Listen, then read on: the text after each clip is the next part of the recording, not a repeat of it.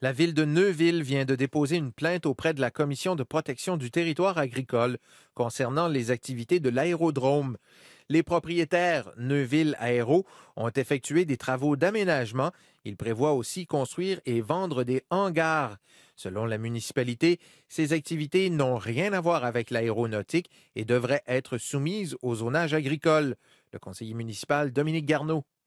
Notre inspecteur s'est présenté à quelques reprises euh, sur le site de Neuville-Aéro, a pris des photos, a monté un dossier. C'est un territoire agricole. Le fait qu'il y ait une, piste d'avion là n'a pas changé la, nature agricole de cette zone-là. La CPTAQ a, a, agi, disons, fermement avec euh, le cas de Lévis, là, avec les parachutes, et on pense que c'est la même logique. Les propriétaires de l'aérodrome maintiennent que la plainte n'est pas fondée et qu'ils n'ont pas à se soumettre au zonage agricole puisque leurs activités relèvent du fédéral.